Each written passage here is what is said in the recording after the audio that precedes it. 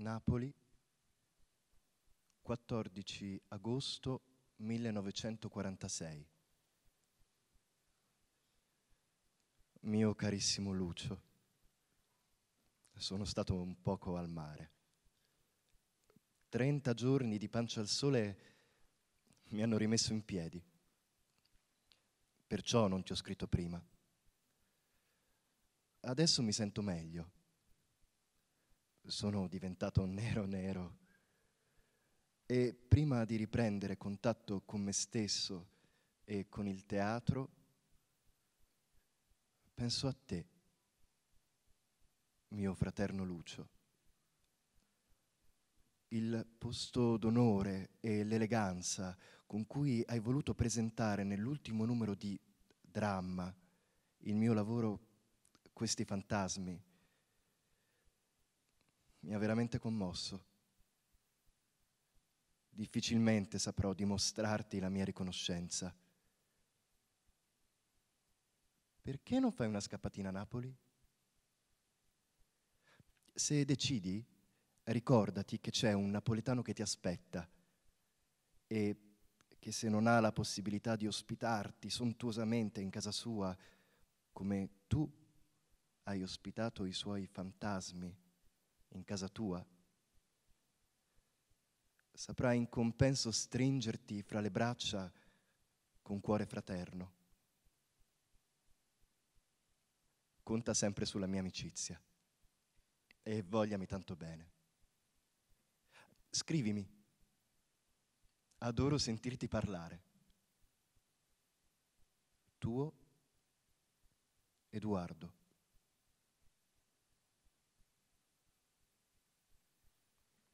Signori e signori, buonasera e benvenuti a questa festa, questa bellissima festa, la giornata mondiale del teatro e sono i 50 anni, un compleanno, i 50 anni del Centro Studi del Teatro Stabile di Torino.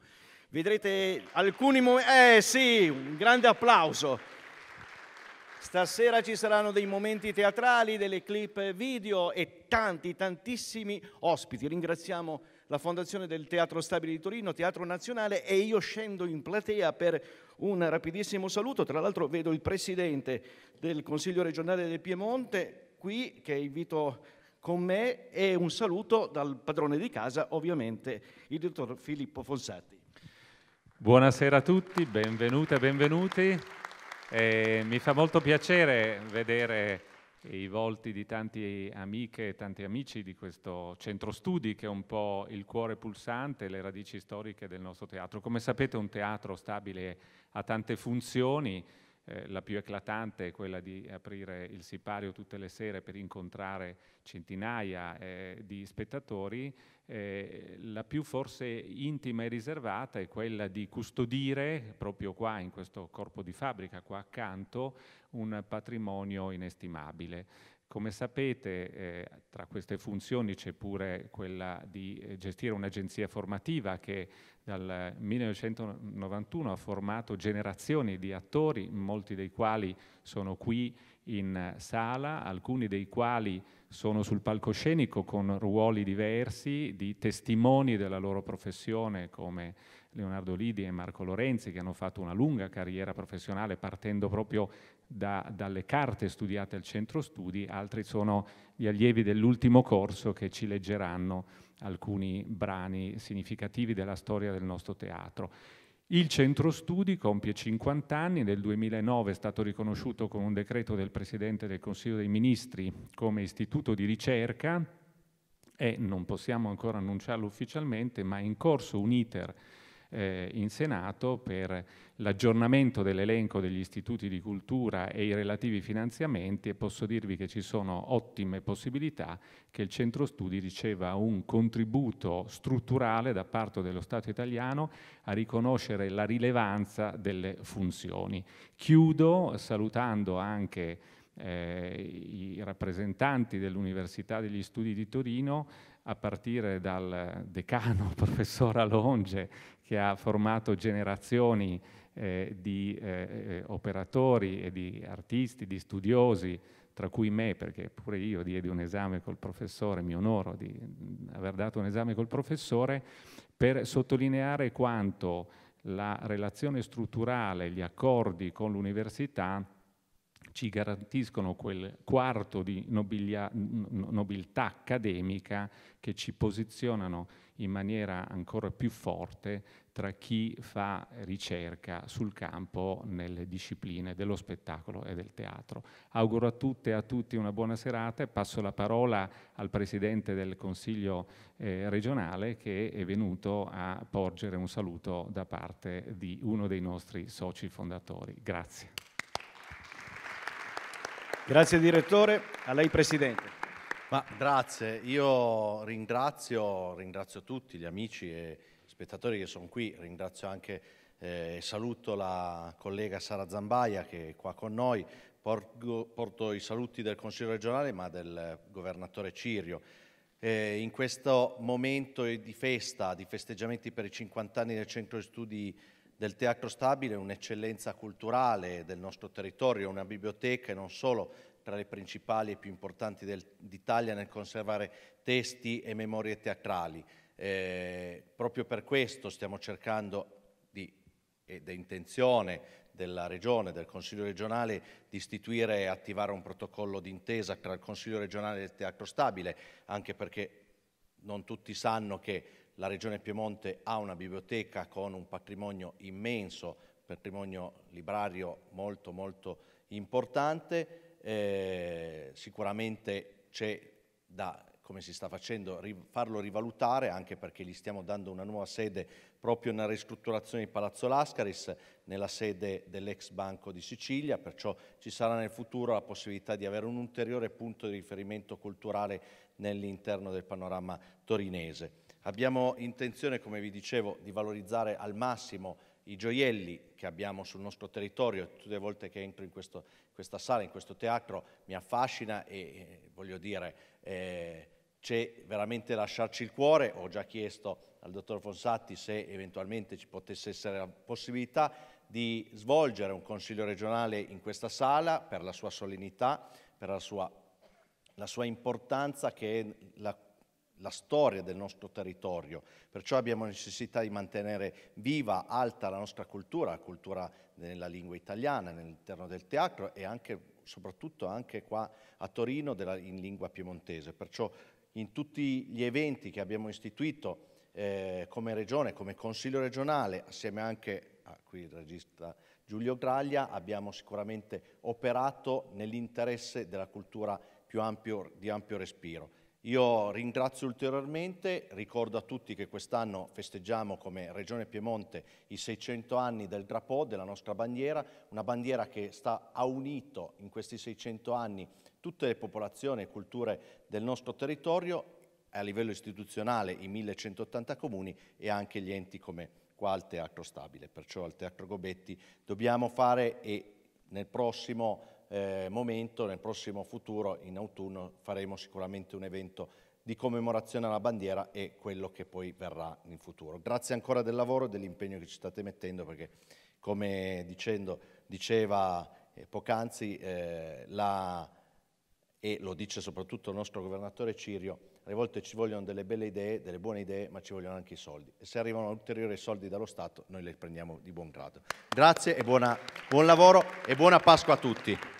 Grazie Presidente, grazie Direttore e possiamo dare via a questa serata. Il Centro Studi nasce appunto nel 1974, lì inizia la cavalcata del Centro Studi e abbiamo invitato degli amici, degli amici che passeranno con noi la serata, degli ospiti d'eccellenza, artisti, docenti universitari, appassionati, giornalisti.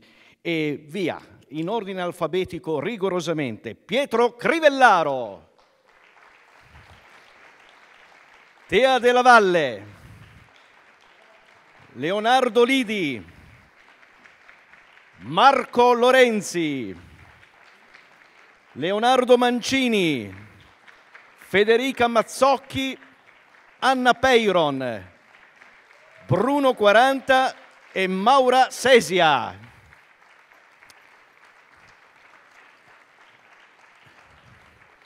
Abbiamo preparato mm, un eh, filmato per raccontare questi, questo inizio, un inizio straordinario perché Lucio Ridenti dà questo fondo, da lì inizia tutto, lui aveva eh, iniziato nel 25 questa rivista mensile Dramma che dirige fino al 68, quindi veramente una lunga storia e partiamo da questa storia con eh, queste immagini. C'è un signore che nel 73 viene assunto come nell'ufficio stampa del Teatro Stabile e due anni dopo arriva proprio al centro studi. Questo signore è Pietro Crivellaro. Come erano quegli anni, Pietro? E sono stati anni eh, anche difficili di transizione eh, la direzione Trionfo col presidente Picchioni e eh, Nuccio Messina, direttore organizzativo, è il vertice che ha fondato, ha voluto il centro studi. Io sono entrato attraverso il Festival di Chieri, mi occupavo dell'organizzazione di questo a Chieri e sono stato cooptato al Teatro Stabile Ufficio Stampa. Ma nel 75 quel vertice è completamente cambiato, decapitato, per così dire scacciato, perché sale al potere la giunta di Diego Novelli, eccetera. Io vengo mandato, per così dire, in castigo al centro studi che era nato due anni prima. Un bel castigo, dai. E in qualche... Eh. Beh, a quel momento non no, era così non era. chiaro, non era così chiaro per cui ho capito di dovermi dar da fare a dargli un obiettivo. E il primo obiettivo che ho intuito è stato quello di mettere a disposizione una risorsa di documentazione sul teatro rappresentato che era garantita dall'archivio del dramma e dalla biblioteca di Ridenti all'università stavano nascendo gli insegnamenti della storia del teatro che si emancipavano dalla storia della letteratura. Hai detto quella bellissima frase tra il centro studi e l'università. Ecco, è stato il binomio che è diventato il faro della nostra attività credo fino ad oggi ed è questo che mi dà una grande soddisfazione. Grazie e torniamo su di te, avete, visto addirittura Febo Mari, c'è anche il, il, l'archivio di Febo Mari, grande eh, attore del cinema muto, questo per dire la vastità dell'archivio che eh, dopo prenderà i fondi di Rossi, di Blandi, di Guerrieri, di Castri, di Messina, di Guido Doveico Bonino, insomma di tantissimi che doneranno i propri scritti, le proprie opere, i libri al centro studi. Ma eh, adesso mi piacerebbe iniziare questo percorso perché il percorso inizia proprio in quell'anno. C'è un eh, ex direttore del Teatro Stabile, di direzione collegiale tra il 68 e il 70.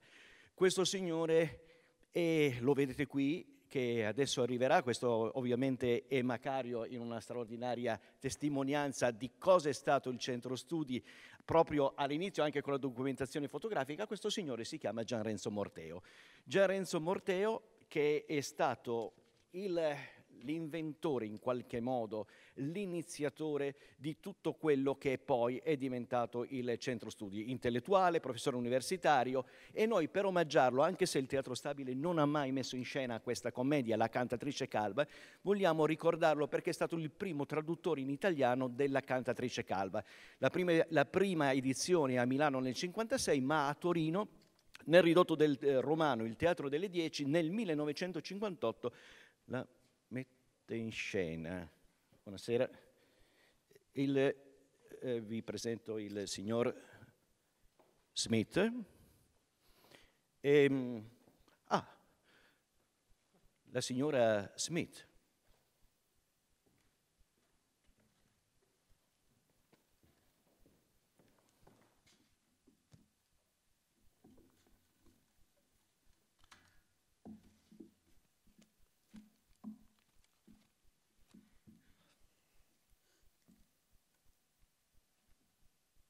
Guarda un po'.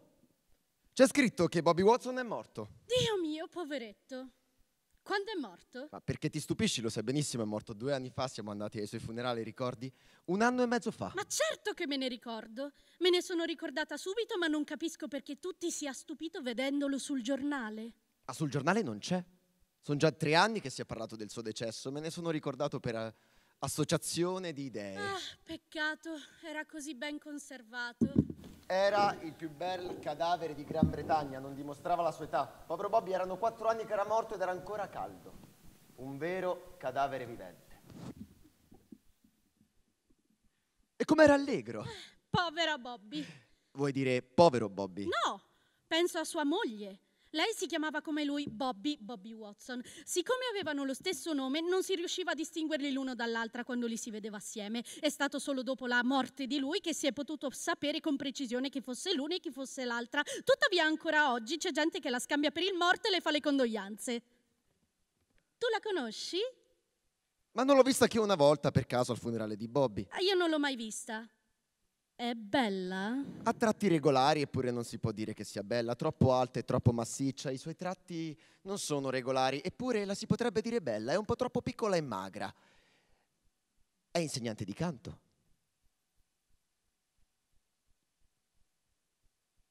E quando pensano di sposarsi quei due? La primavera prossima, più tardi. Bisognerà per forza andare al matrimonio. E bisognerà anche fare un regalo. Mi domando quale. Perché non gli regaliamo uno dei sette piatti d'argento che ci hanno dato per il nostro matrimonio e che non ci sono mai serviti a nulla? È così triste per lei essere rimasta vedova così giovane. Per fortuna non hanno figli. Non ci sarebbe mancato che questo, figli! Povera donna, che cosa avrebbe fatto? È ancora giovane e può benissimo risposarsi. Il lutto le sta così bene. Ma chi si prenderà a cura dei figli? Lo sai che hanno un bambino e una bambina? Come si chiamano? Bobby e Bobby, come i loro genitori. Lo zio di Bobby Watson, il vecchio Bobby Watson, è ricco e vuole molto bene al bambino. Potrebbe incaricarsi lui dell'educazione di Bobby. Sarebbe logico. E la zia di Bobby Watson, la vecchia Bobby Watson, potrebbe benissimo incaricarsi per parte sua dell'educazione di Bobby Watson, la figlia di Bobby Watson, così la mamma, Bobby Watson, Bobby, potrebbe riposarsi. Ha qualcuno in vista? Sì, un cugino di Bobby Watson. Chi? Bobby Watson? Ma di quale Bobby Watson parli? Di Bobby Watson, il figlio del vecchio Bobby Watson, l'altro zio di Bobby Watson, il morto. No, non è quello, è un altro. È il figlio della vecchia Bobby Watson e la zia di Bobby Watson, il morto. Vuoi dire Bobby Watson, il commesso viaggiatore? Tutti i Bobby Watson sono commessi viaggiatori. Ah, che mestieraccio. Eppure si guadagna così Sì, bene. quando non c'è concorrenza. E quando c'è concorrenza? Il martedì, il giovedì e il martedì. Ah, tre giorni alla settimana? E che fa Bobby Watson durante quel tempo? Si riposa, dorme. Ma perché non lavora durante quei tre giorni se non c'è concorrenza? Non posso saper tutto. Fai delle domande stupide. Lo dici per umiliarmi? Sai bene che non è vero. Gli uomini sono tutti uguali. Rimanete lì tutta la giornata, sigaretta in bocca, oppure vi incipriate, vi dipingete le labbra 50 volte al giorno quando non bevete a più non posso. Ma che cosa diresti se vedessi gli uomini fare come le donne, fumare tutta la giornata, incipriarsi, impiastricciarsi di rosso le labbra e bere whisky? Quanto a me me ne infischio. Ma se parli così per farmi rabbia, allora non mi va questo genere di scherzi, lo sai.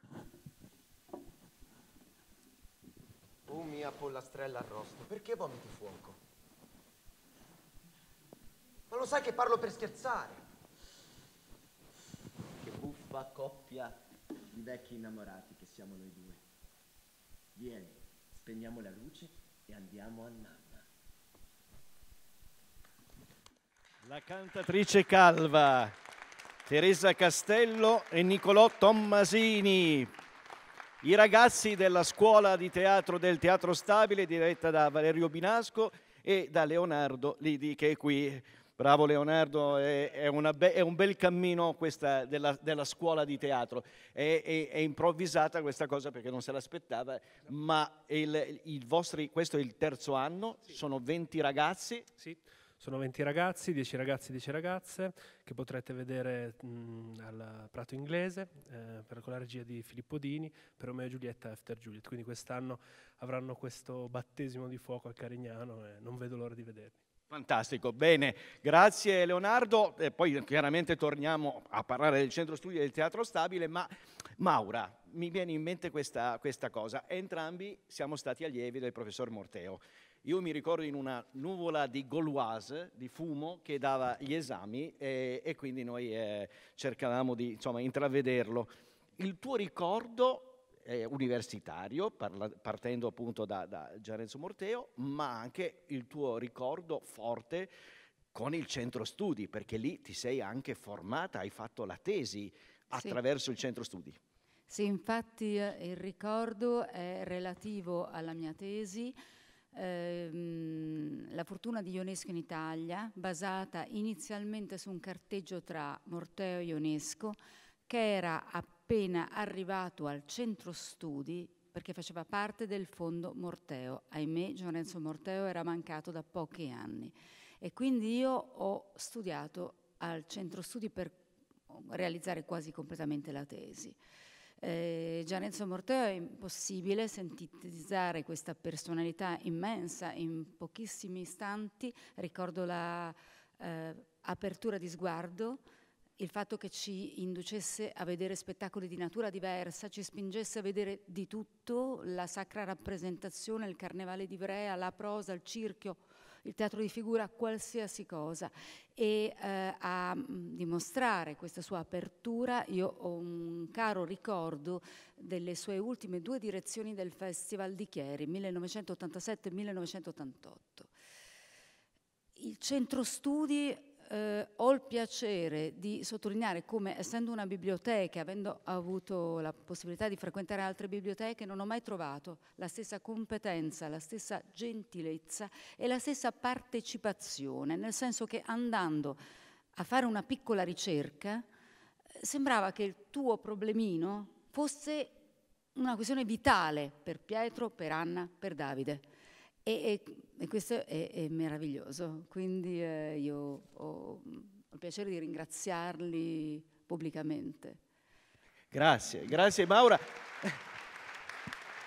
Maura, Maura ha fatto tanti anni l'ufficio stampa, Assemblea Teatro, Juvarra, Caffè Procope, poi recita e soprattutto è critica teatrale eh, non a caso abbiamo aperto un giornale non in Times ma la Repubblica, qui eh, tra l'altro rappresentata da te, da Bruno 40, che dopo tanti anni con eh, la stampa adesso scrive sulle pagine culturali di, di Repubblica. Ma, ma eh, tu Maura da, da sempre scrivi critica teatrale con grande attenzione e con grande cura. Questo è il, il, tuo ricordo, ma Pietro, ancora su quegli anni, eh, i, i, direttori, parliamo dei direttori prima, eh, sono, sono susseguiti dopo Giarenzo Morteo, c'è stato Sermonti, poi c'è stato ancora un, un, un fraseggio con Ferrero, Piero Ferrero, che poi ricordiamo, e fine sei arrivato tu.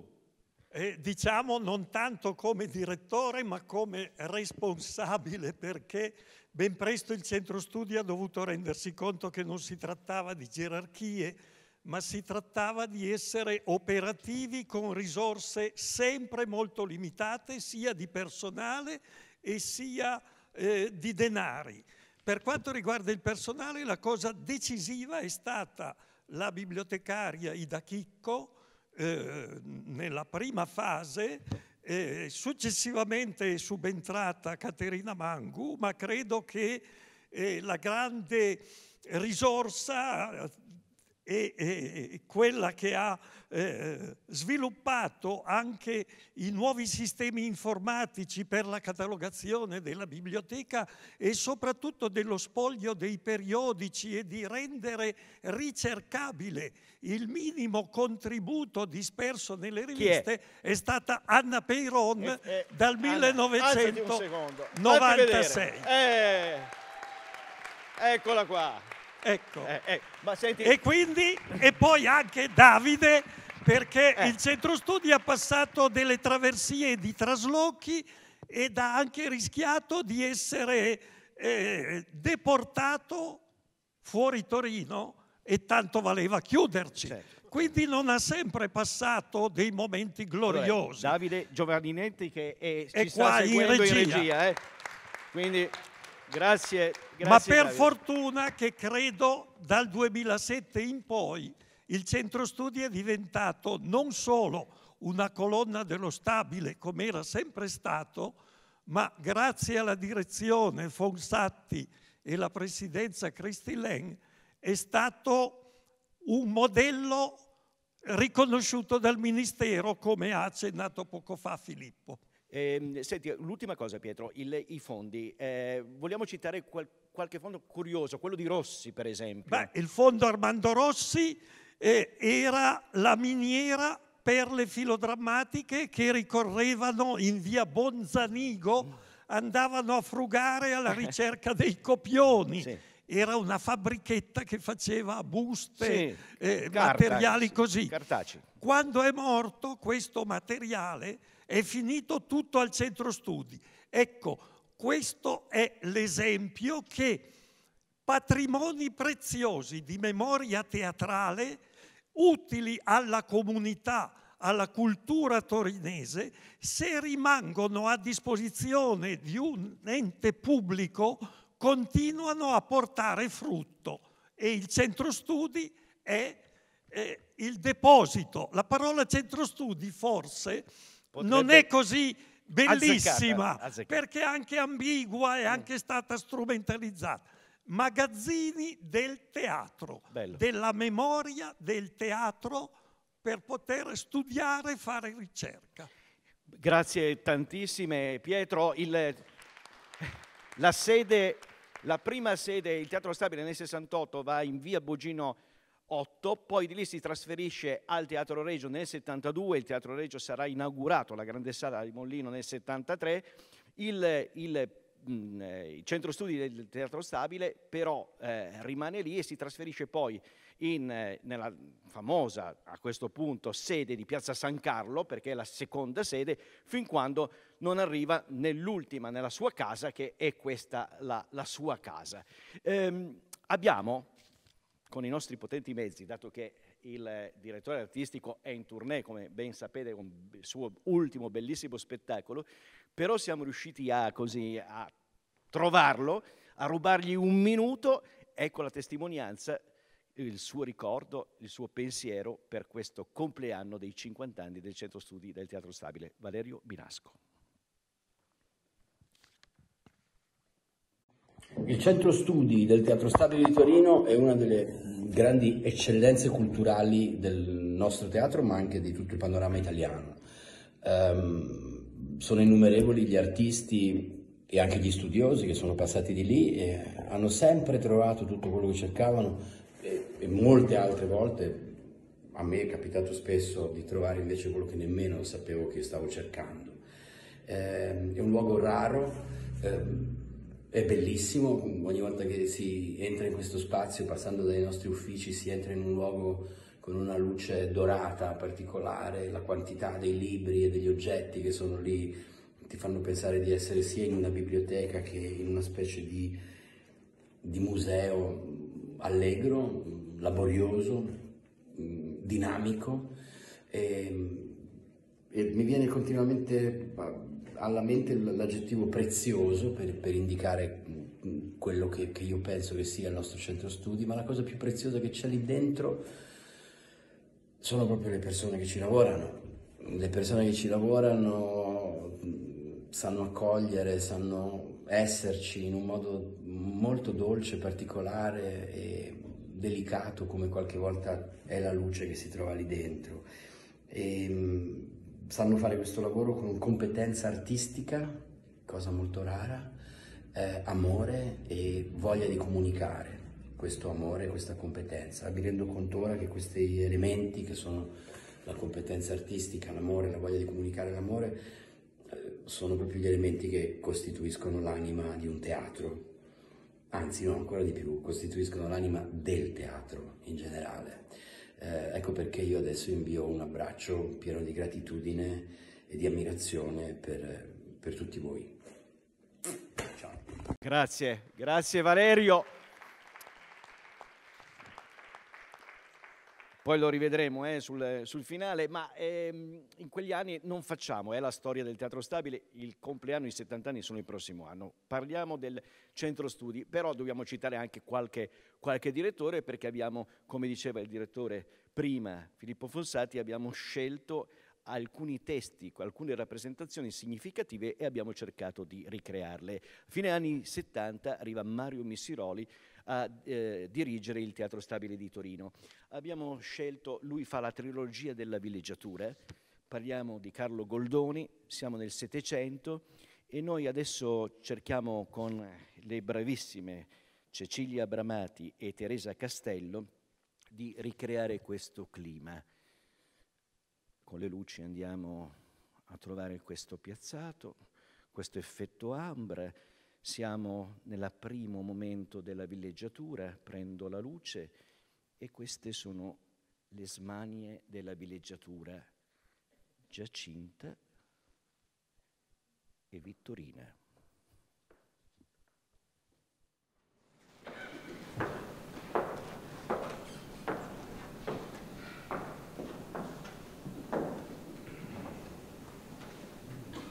È ambiziosissimo se vede qualche cosa di nuovo ad una persona, subito le viene la voglia di averla. Avrà saputo che io mi ho fatto il vestito nuovo e l'ha voluto ella pure. Ma non avrà penetrato del mariage. Non l'ho detto a nessuno. Non avrà avuto tempo a saperlo. Giacintina, amica mia carissima! Ma buondì la mia cara gioia! Mua, mua.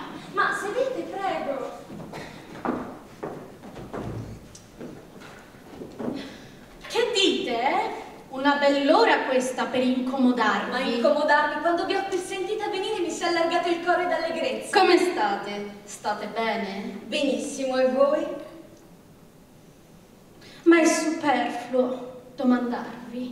Siete grasse e fresche, il cielo vi benedica che consolate. Voi, voi avete una cera che innamora. Cosa dite mai? Sono levata questa mattina per tempo, non ho dormito, mi duole lo stomaco, mi duole il capo, figurarsi che buona cera che io possa avere. Ed io non so cosa m'abbia, sono tanti giorni che non mangio niente, niente, niente.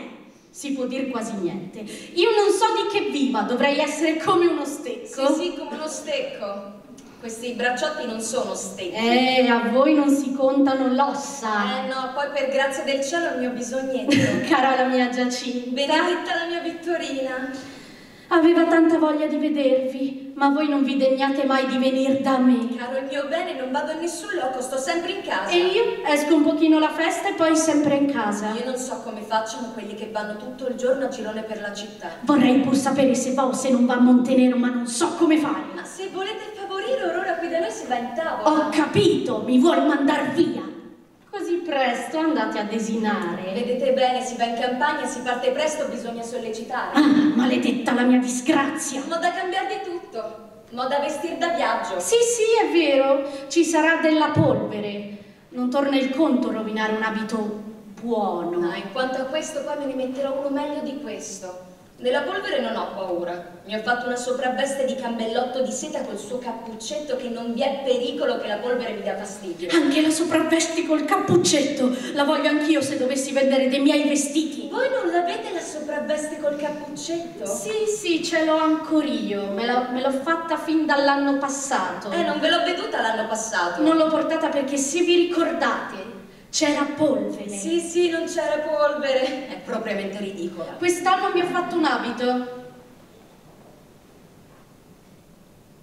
Ah, io me ne ho fatto uno bello. Vedrete il mio che non vi dispiacerà. Mm, in materia di questo vedrete qualche cosa di particolare. Il mio non viene oro né argento, ma per dire la verità è stupendo. Moda, moda, vuole essere moda. Oh, circa la moda, il mio non si può dire che non sia alla moda. sì, sì, sarà la moda. Non lo credete? Ma sì, lo credo. Vorrei stare quando vede il mio mariage. In materia di mode poi credo di essere stata sempre io delle prime. E che cos'è il vostro abito? È un mariage. Mariage! Vi spiace che io abbia il mariage? Oh, c'ho gusto. Volevate averlo voi sola? E perché? Credete voi che io sia una fanciulla invidiosa? Io non invidio nessuno. E quando ve lo metterete questo bell'abito? Non so, può essere che non me lo metta nemmeno. Io sono così, mi basta ad aver la roba, ma non mi curo poi di sfoggiarla. Se andate in campagna sarebbe quella l'occasione di metterlo. A che ora partite? A 21 ora. Ah, dunque c'è tempo. Posso trattenermi qui ancora un poco? Sì, sì, ho capito, aspettate un poco. Se avete qualche cosa da fare, servitevi. No, niente, mi hanno detto che il pranzo è all'ordine e che mio padre vuol desinare. Partirò dunque. No, no, ma se volete restate, restate. Non vorrei che il vostro signor padre si avesse a inquietare. Eh, per verità è fastidioso un poco. Mi leverò l'incomodo. Ma se volete restare con noi mi farete piacere. Quasi quasi ci resterei per la curiosità di quest'anno. Ho inteso, non vedete? Ah, abbiate creanza. Con chi parlate? Eh, col servitore che mi sollecita, non hanno niente di civiltà costoro. Io non ho veduto nessuno. Eh, l'ho ben veduto io. Ho capito. Signora Giacinta, a buon rivederci. Addio cara. Vogliatemi bene che vi assicuro che ve ne voglio. Siate certa che siete corrisposta di cuore. Un bacio almeno. Sì, vita mia. Cara la mia gioia. Addio. Addio. Faccio dei sforzi a fingere che mi sento crepare. Le donne invidiose io non le posso soffrire.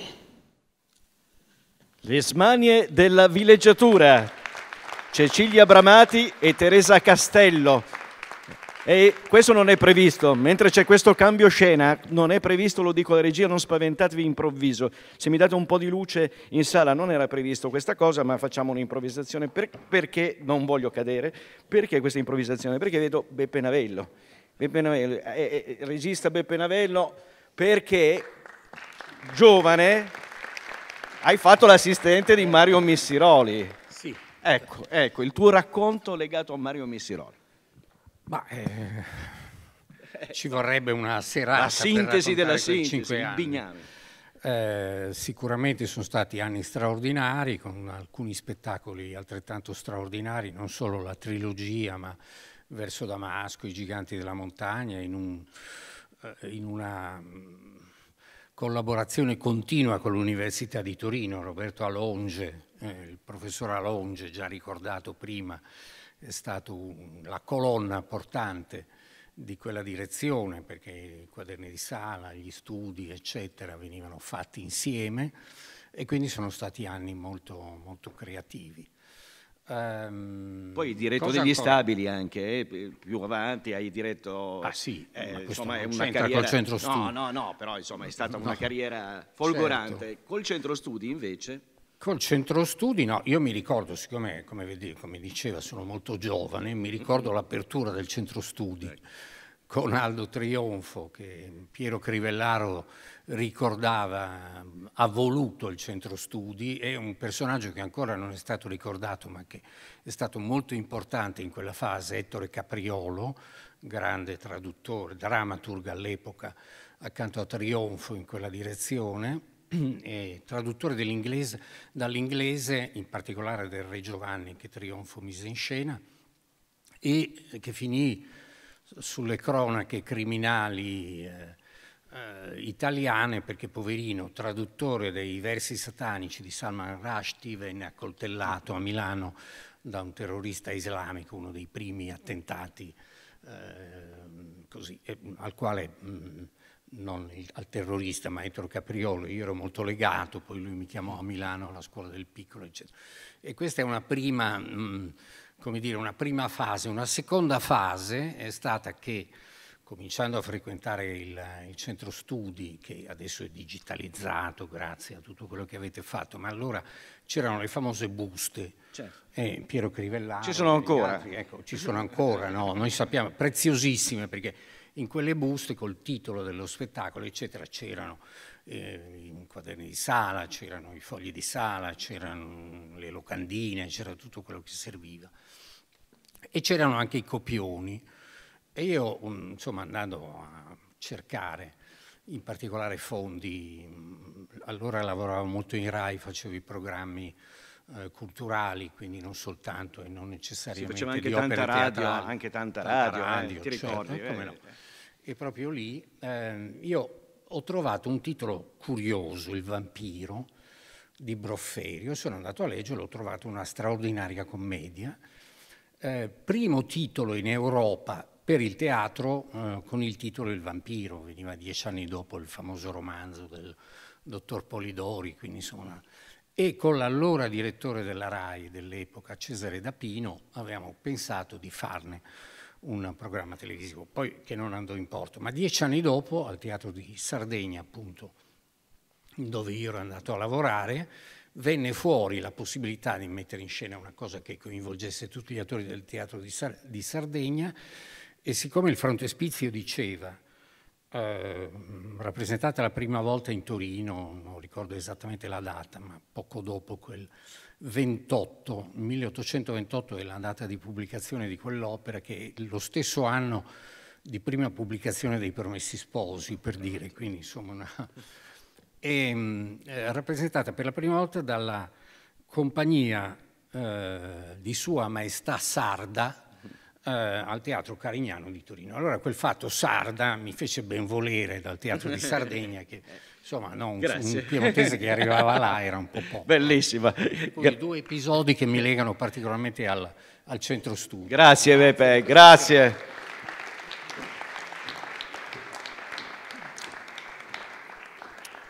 Eh, beh, adesso Bruno, Bruno 40, giornalista, scrittore, appunto dal giornale, poi una lunga militanza, tutto libri con la stampa, adesso pagine culturali della Repubblica. Il, il tuo ricordo, abbiamo parlato, abbiamo accennato a Piero Ferrero, il tuo ricordo di, di Piero Ferrero. Ma Piero Ferrero, che è stato responsabile del centro studi, che poi è stato nominato drammaturgo da Gregoretti, è un signore che andrebbe salvato dalla sua riservatezza estrema, no? signore di una grandissima sensibilità e di una straordinaria cultura dai classici greci latini alla sua letteratura francese. Lui stesso ci ha lasciato un libro nel 97, Lettere ai Romani, bello perché necessario, è un libro che rispecchia la sua sensibilità giansinistica e il suo culto della solitudine e che riconduce a un mondo a proposito di giansenismo che gli era così proprio, con un nome tra gli altri un signore che ha scritto una storia di Port Royal che era Singh.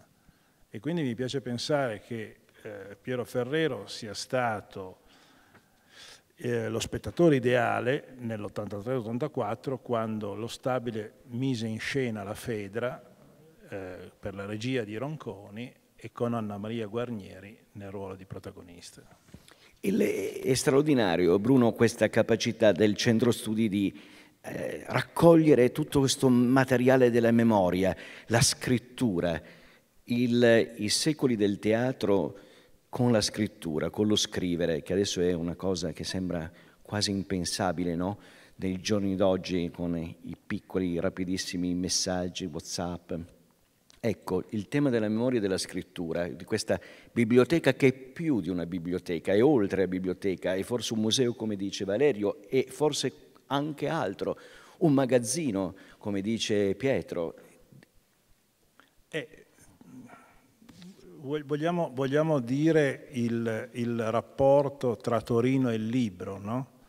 D'altra parte, se questa città è la città dell'editore ideale, come è stato definito Gobetti, necessariamente ha un rapporto così intimo, così profondo e così autentico e così severo con la parola. Ecco. Non dimentichiamo per stare al teatro che eh, un signore come Pirandello mirava a rappresentare le sue opere, non tutte, qui a Torino perché aveva un profondo rispetto per il pubblico torinese e per la capacità di lettura che il pubblico torinese aveva dell'opera teatrale. Ti ringrazio moltissimo Bruno e vorrei chiedere, proprio per questo rapporto che già Pietro accennava, no? strettissimo, con la professoressa Mazzocchi, posso darti del tuo professoressa? Certamente. Io faccio l'eterno studente.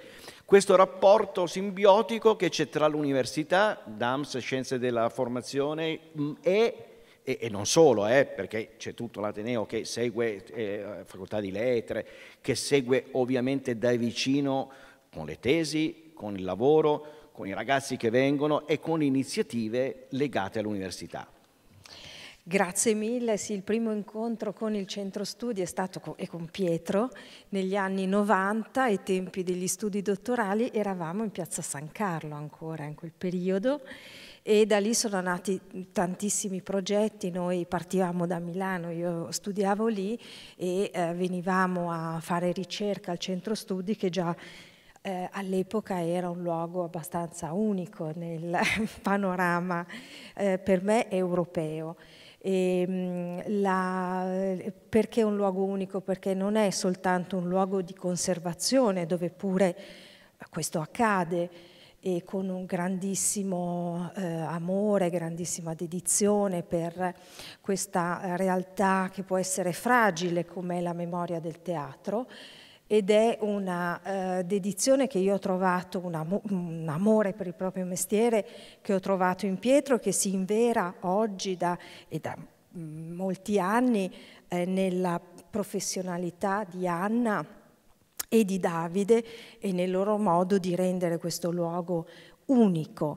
Ma non è, dicevo, soltanto una questione di conservazione che pure è fondamentale, ma con il centro studio ormai da molto tempo e sempre di più ehm, siamo in una relazione di progettazione, di ideazione, eh, creiamo insieme, ehm, abbiamo moltissimi progetti che ci, eh, ci rendono orgogliosi perché sono estremamente creativi secondo me, sono davvero di grande qualità.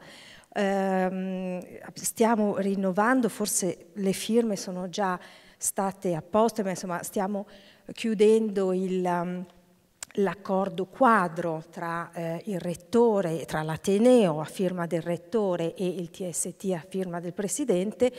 E in questa occasione Anna ha eh, ricordato, riallineato tutti i progetti che sono stati fatti dal 2021 a oggi.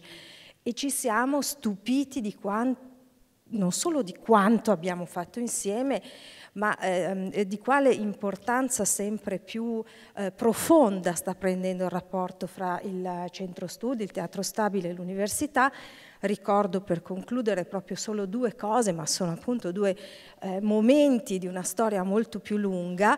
Uno riguarda più direttamente Pietro, perché il progetto Lucio Ridenti, a cui siamo tutti molto affezionati, è nato un libro molto bello, un convegno molto, molto particolare, molto interessante e il progetto Castri che abbiamo fatto io, Anna e Tea, con un gruppo di lavoro, con un sacco di aiuto, però insomma, ed è stato un momento che io ricordo fra i più belli della mia carriera di, eh, di docente, ricercatrice, perché erano dei momenti proprio di progettazione creativa molto forte, con un materiale stupendo, perché sono arrivati appunto i taccuini castri e abbiamo insomma molto lavorato per la messa a sistema di tutta una serie di eh, di, di, di, materiali eh, preziosissimi. Insomma, quindi, che dire, eh, non possiamo che continuare, ormai siamo eh, troppo profondamente legati e felicemente legati. Grazie, grazie. Andiamo avanti, andiamo avanti, negli anni. E poi arriva Ugo Gregoretti, è stato citato prima, Ugo Gregoretti. E è un personaggio singolare, arriva dalla, dal successo televisivo, è un grande inventore, un grande innovatore televisivamente parlando. Sicuramente vi ricordate delle, eh, delle sceneggiati che hanno fatto la storia della televisione in bianco e nero, ma arriva qui e ehm, eh, si inventa due cose. Una sono... Eh, passa un po' diciamo, sotto la critica il Bersezio, Le miserie di Monsieur Travet, fatto da Bonacelli, attore romano, che arriva qui e scompiglia un po' le carte. E quindi si ricorda per questo passaggio e per Reubu, eh, l'idea geniale di eh, affidarsi a, a, Walter Chiari, un, un genio di attore, che forse in quel periodo ha qualche problema, e alla fine non fa lo spettacolo. Walter Chiari viene sostituito direttamente da Ugo Gregoretti nella parte del protagonista. Eh, e arriviamo a un regista internazionale perché arriviamo a Luca Ronconi che arriva a fine degli anni Ottanta c'è una straordinaria invenzione che è una fabbrica. Torino è la fabbrica, il Lingotto ha appena cessato la sua attività di fabbrica e in quella fabbrica costruisce uno spettacolo ovviamente non più producibile, non esportabile, sei ore di mh, delirio straordinario teatrale, sono gli ultimi giorni dell'umanità di Karl Kraus, e, mh, con degli attori mh, De Francovic, La Guarnieri, eh, Latella, Zingaretti, Populizio, Galatea Ranzi, insomma con tantissimi grandissimi attori, sono eh, esattamente 64 attori e tra l'altro con un grandissimo eh, ehm, sforzo tecnico perché ci sono tantissimi tecnici, alcuni, uno è qui in sala perché ha lavorato in quella produzione, eh, il teatro stabile quindi c'è un impegno, l'impegno dei tecnici è sempre stato fortissimo, parlo di elettricisti, macchinisti, tecnici audio, video, ehm, audio, insomma è un grandissimo sforzo. Di questo, di questo progetto vendiamo una clip visiva.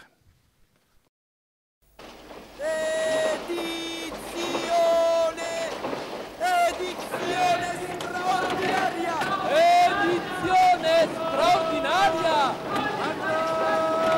Gioie fra le presse! Bravo! Edizione straordinaria! Edizione straordinaria! Assassinio dell'erede al trono! Il principe ereditario assassinato con la consorte! L'assassinio di Sara ereditario! Il principe ereditario e la consorte assassinati! Arrestato il colpevole! Arrestato il colpevole! Un servo! Un servo! Un servo! Un servo! Un servo! Un servo l'attentatore! Edizione straordinaria! Il principe ereditario e la consorte assassinati! Arrestato Edizione straordinaria! Assassinato l'erede al trono con la consorte! Qui, meglio che altrove, si coglie lo stato d'animo della città. Vede? La notizia si è sparsa sul corso come un incendio spinto dal vento qui, dove si frangono i flutti, la gaia animazione.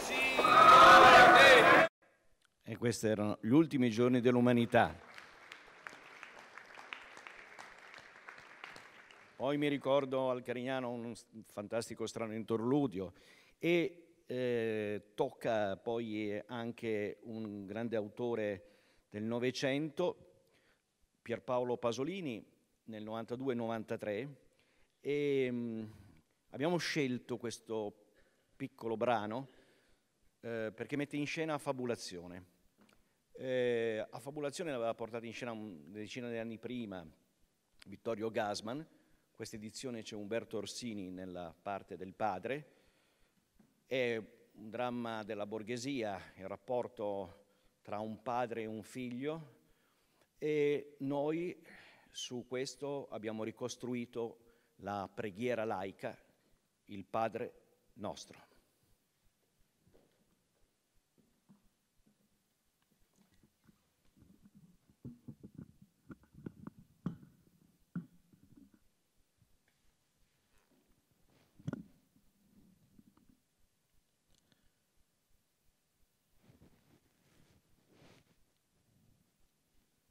Padre nostro che sei nei cieli,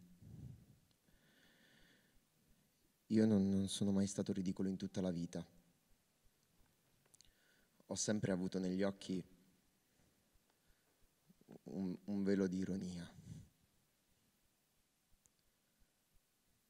Padre nostro che sei nei cieli, ecco un tuo figlio che in terra è padre. È a terra. Non, non si difende più. Se tu lo interroghi, egli è pronto a risponderti, è loquace come quelli che hanno appena vissuto una disgrazia e sono abituati alle disgrazie, anzi, ha bisogno lui di parlare, tanto che ti parla anche se tu non lo interroghi. quanta inutile e buona educazione. Non sono mai stato maleducato una volta nella mia vita. Avevo il tratto staccato dalle cose e sapevo tacere per difendermi dopo l'ironia. Avevo il silenzio. Padre nostro che sei nei cieli, sono divenuto padre. E il grigio degli alberi sfioriti, ormai senza frutti, il grigio delle eclissi, per mano tua mi ha sempre difeso. Mi ha difeso dallo scandalo, dal dare in pasto agli altri il mio potere perduto. Infatti Dio, io non ho mai dato l'ombra di uno scandalo. Ero protetto dal mio possedere e dall'esperienza del possedere che mi rendeva appunto ironico, silenzioso e infine inattaccabile, come mio padre.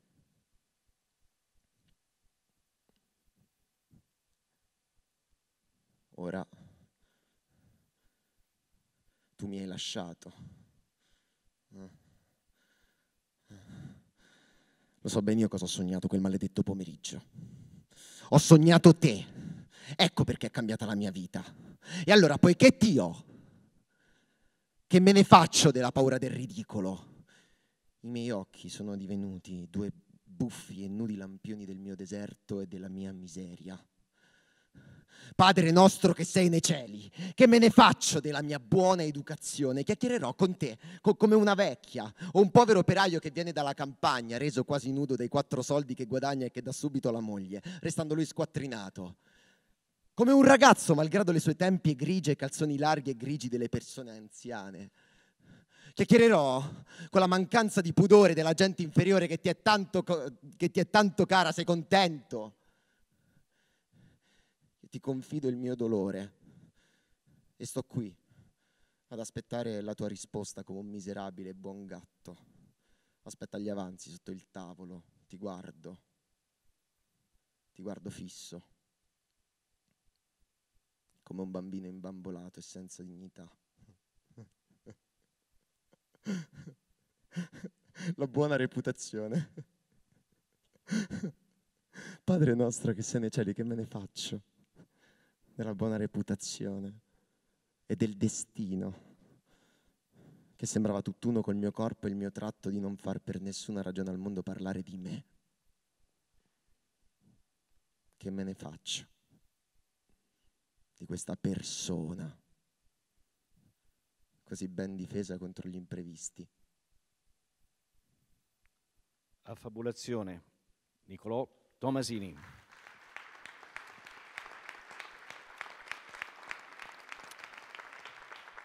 È, è, è dura, eh, perché come diceva il professor Guido Davico Bonino, che voglio ricordare, altro direttore del Teatro Stabile, qui siamo nell'esametro alessandrino, quindi è in versi e quindi una struttura musicale complessa anche ovviamente soprattutto nella recitazione. Ma io scenderei nuovamente, se mi date di nuovo un po' di luce in sala, così eh, scaldiamo un po' la platea. Ci sono tante persone che vorrei salutare, ma devono insomma, correre e andare sulle persone. Mario Brusa, Mario Brusa, che non ha bisogno di presentazioni, una voce e anche un legame forte eh, con il, il centro studi, perché so dalle mie spie, ma anche da te, che spesso ti rivolgi ad Anna, vieni prima beh, con, con, Crivellaro, adesso con sì, la sì, Peiron. Sì, è stato proprio la nostra miniera in tutti questi anni, intanto buonasera a tutti, in tutti questi anni di attività di formazione teatrale, sono 50 gli anni di scuola, di teatro eh, che abbiamo fatto a Torino con tanti compagni di lavoro. Eh, il, riferimento del teatro stabile e del centro studi è stato determinante, non soltanto per quello che riguarda il teatro e la letteratura italiana, ma anche per quella locale, perché si è arricchito ultimamente di quella fondazione, di quell'ascito di Armando Rossi che ha ricordato Pietro prima e che è determinante anche per la ricerca delle nostre radici. Del, soltanto al teatro, al, al centro studi potevamo trovare le farse di Aglione, ad esempio, che abbiamo rappresentato, eh, quindi riscoprendo un, una lingua piemontese, una lingua, non un dialetto, che ha delle radici antichissime. E questo sarebbe solo un esempio, sono tantissimi, anche le varie versioni del Trevet di Bersezio, in, al primo copione originale, a quelli della, del teatro non amatoriale, ma del teatro un po' meno impegnato, e poi quella miriade di copioni che ha lasciato anche Armando Rossi e che qui si possono trovare, che non sono stampati, ma sono quei copioni meravigliosi scritti a mano. Grazie davvero alla presenza del centro studi e grazie alla possibilità di eh, far conoscere la cultura, non soltanto quella nazionale ma anche quella locale che viene un po' dimenticata ultimamente. Grazie al centro studi. Grazie Mario. Eh, Festival delle Colline, vedo Sergio Riotti, tantissimi anni in RAI a diciamo fare recensioni straordinarie al TG degli spettacoli teatrali, ma anche grande frequentatore del centro studi. E prima il regista per tanto tempo. Eh, sì. È... è vero, è vero, è tanto tempo il regista prima, è vero. Ma dunque, io voglio dire una cosa di, di una grande piacevolezza della uh, collocazione adesso del centro studi qui al Gobetti, perché io lavoravo alla RAI che è esattamente a 53 metri e quando mi mancava qualcosa venivo al centro studi e essendo poi un luogo veramente confortevole dove c'erano degli amici magari stavo un po' di più del necessario e poi ricomparivo. Prima il centro studi lo, lo, mi è servito per fare la tesi perché Gian Renzo Morteo di cui sono stato allievo come Chiara Alpestre che qui eh, mi aveva indirizzato verso una tesi sul teatro giacobino in Italia e molti materiali li, li ho trovati al centro studi dove lavoravo quotidianamente. Tutti tranne un libro che era eh, di Federico Doglio, Teatro e Risorgimento. E allora Gian Renzo Morteo mi disse vieni a casa mia perché io ce l'ho bisogna soltanto sostituirlo. Io non ho mai capito che cosa volesse dire finché non sono andato a casa sua. Sosteneva il letto, era una pila di libri che sosteneva il letto perché una gamba era mancante. E, e, uno di quei libri era Federico Doglio, Teatro e Risorgimento, e quindi Morteo mi disse prendine uno dello stesso formato. Eh certo, e dalla libreria presi uno dello stesso formato e lo misi al posto di Teatro Risorgimento. Ce l'ho ancora, non gliel'ho mai restituito, povero eh, Gian Renzo, eh, ma eh, sono sicuro che lui me lo avrebbe regalato. E poi tante tante altre cose, gli ultimi giorni dell'umanità ho fatto la regia radiofonica e per rimettere insieme i copioni, che era eh, veramente un'impresa eh, sono stato al centro studi, eh, c'erano al Teatro Stabile tanti amici, insomma è un pezzo importante della mia vita, non voglio farla lunga. Grazie Sergio, grazie. Abbiamo,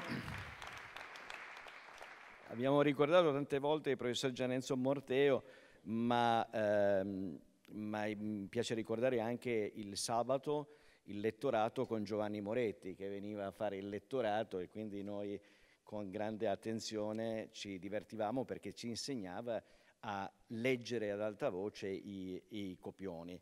Eh, Università di Torino, professor Mancini, lei è proprio un grande amico, un grande amico del, del centro studi, la sua testimonianza.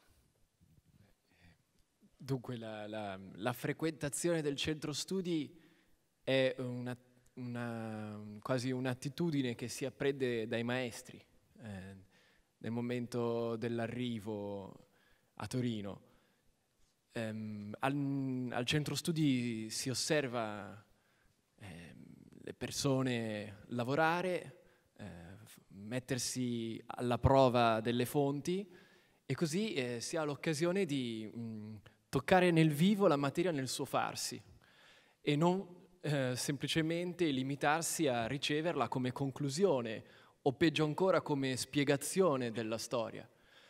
Eh, in un certo senso Ehm, l'esperienza dunque dell'archivio teatrale consente al ricercatore ehm, di immergersi nella- nel vivo dei fatti, di ricondurli alla loro condizione di possibilità e in definitiva eh, di mantenere un'apertura storiografica che è in definitiva quella che caratterizza il metodo di studio.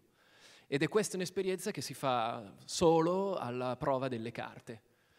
Ehm, tra le iniziative che il centro studi promuove, eh, oltre a quelle ricordate dalla professoressa Mazzocchi, vi è poi anche eh, la rassegna degli incontri di retroscena, una delle tante occasioni con cui il teatro prolunga l'azione culturale degli spettacoli oltre l'evento spettacolare stesso, facendo così, creando occasione di risonanza per l'impatto critico di ciò che si fa. E, e così ecco che mh, eh, i ricercatori, gli studenti, i docenti hanno l'occasione di confrontarsi con i protagonisti delle stagioni che si susseguono anno dopo anno e fare esperienza in prima persona.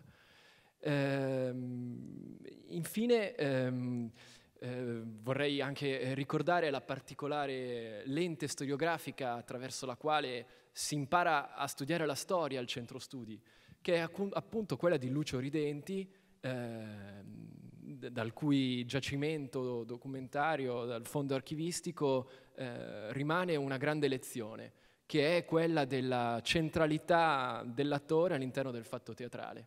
Un concetto che egli ha ribadito a più riprese nei suoi scritti teorici.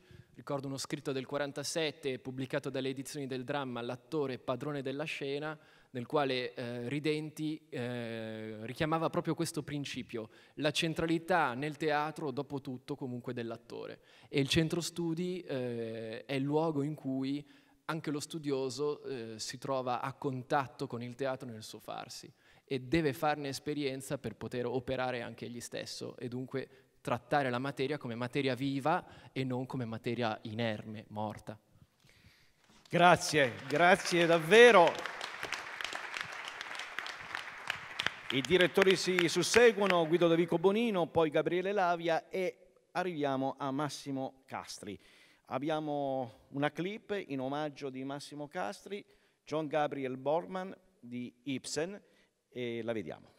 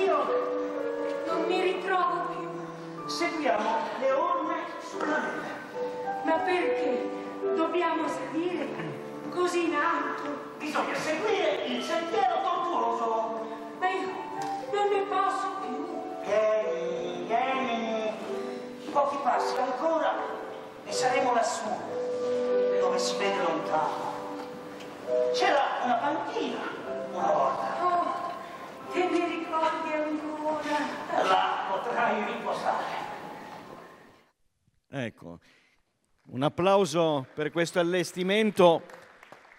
Anche questo, scusate, non è previsto, improvviso, se mi date di nuovo la luce in sala, ma proprio un, un flash.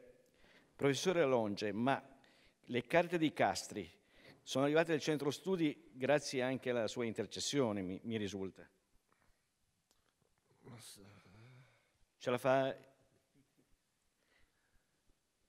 Sì, credo che il modo di da parte mia di, di dire bene del centro studi è proprio questa. La sorella di Castri, che abitava a Firenze, abita credo ancora oggi, mi telefonò e mi disse ma ho tutti i taccuini, tutti i materiali di Massimo, ho chiesto al professore di Firenze che insegnava storia del teatro, Siro Ferrone, di, di prenderli, di, di portarli nell'università. Era normale perché Firenze è Firenze. Cioè Castri abitava a Firenze eh, e, e, quindi insomma la sorella abitava a Firenze, quindi insomma era assolutamente normale. E io dissi, ma eh, come mai non vuole? Ma Siro Ferrone è un personaggio importante della storia del teatro, ma anche un po' balzano. E insomma, non li volle. Mi disse delle cose assurde, disse ma non c'ho posto, ma invece no, non è un grande quantitativo, sono dei taccuini, insomma. Allora, devo dire, potevo avere la tentazione di dire, vabbè, allora lo prendiamo noi all'Università di Torino, dove c'era il DAMS dove c'è ancora adesso il DAMS, quindi sarebbe stato un titolo di Perdoni merito. se li interrompo, ma il Sì. DAMS è stato anche un merito suo che è arrivato a Torino, è stato uno dei fautori per- di, poi di portare il DAMS a Torino. eh. Sì, certo, grazie. E- Dovuto, dovuto, professore. Anch'io ho dato un esame. Cerco Ah, bene. di... Comunque, la- in conclusione, io ho preferito parlarne con Crivellaro e mettere in collegamento Crivellaro con la sorella di... perché mi sembrava che il centro studi fosse più, eh, come dire, garantisse di più la- la, eh, una cornice tale, ma, ma poi insomma c'erano già altri E così è fondi successo. e è e così è successo. Grazie professore, grazie. Scusate, devo correre, devo correre. Ma nel 2001, nel 2001 arriva questo spettacolo allestito da Massimo Castri, La regione degli altri, da Luigi Pirandello, perché è il centenario del taccuino di Coazze. Lei quando ha detto taccuino mi ha fatto così scattare questa molla. E in quell'anno ci fu anche una grande sovvenzione del Ministero, anche il Centro Studi fece una bella mostra. Eh, diciamolo, dillo. Una bellissima mostra con eh, Lia Coazze e coadiu- eh, sul tema della fortuna della messa in scena e collaborò anche il professor Alogge perché ovviamente trattando di Pirandello un suo cavallo di battaglia. Bellissimo, è bellissimo questo ricordo che ci lega però anche un altro ricordo, perché nel 1984 questa sala viene chiusa, nell'83 c'è i famosi fatti tragici del cinema statuto, 64 morti, Il- l'anno dopo eh, e in quei mesi tutti i teatri, i cinema chiudono per misure di sicurezza e il Teatro Gobetti rimane chiuso per 15 anni. Proprio in occasione di quello spettacolo la sala viene riaperta in un altro modo perché viene riadattata come la vedete oggi, però è anche importante ricordare appunto questo legame con lo spettacolo e la riapertura di una sala teatrale, di questa bellissima, straordinaria sala teatrale. Bene, a questo punto non mi rimane altro che chiamare Cecilia Bramati e Teresa Castello per la ragione degli altri, Luigi Pirandello.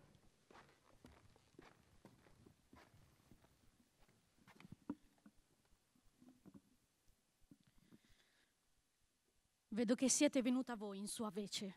Io l'ho visto uscire di qua pochi momenti or sono. Sì, con una scusa, fingendo d'aver dimenticato di comprare un giocattolo alla bambina. Ma dunque deve ritornare? State tranquilla, non ritornerà più.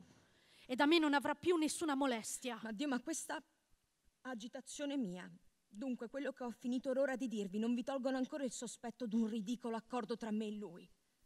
Io non potevo supporre che dovesse ritornare, ero venuta per parlare da sola con voi. State sicura che questa sarà l'ultima volta che verrà? Io non dubito della vostra parola. Già conoscevo la vostra intenzione e sono venuta anzi apposta per dirvi che non è possibile. Allora non comprendo più proprio quello che voi vogliate da me.